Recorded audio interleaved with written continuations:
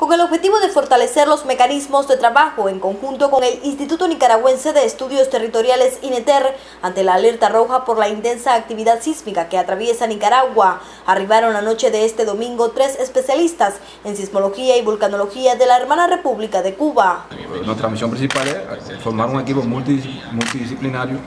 el colega de INETER, para tratar de hacer un análisis más profundo del, fenómeno, lo que está pasando ahora acá en, Nicaragua, y con el objetivo principalmente, por supuesto, de fortalecer las medidas preventivas que, ya sé que se están tomando, pero bueno, un mejor conocimiento del fenómeno va a ayudar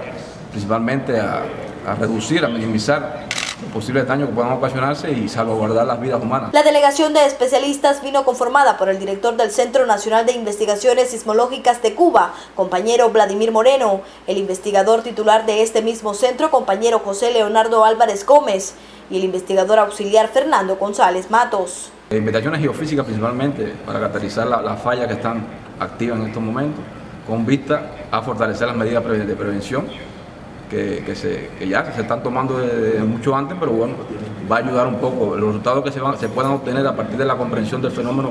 que está pasando, bueno, van a ayudar a, tomar medidas preventivas. Los especialistas fueron recibidos a las 8 de la noche en el capitalino Aeropuerto Internacional Augusto Cesandino por el vicecanciller de la República para la Cooperación Externa, compañero Valdran Jensky, y el embajador de la hermana República de Cuba en Nicaragua, compañero Eduardo Martínez Borbonet.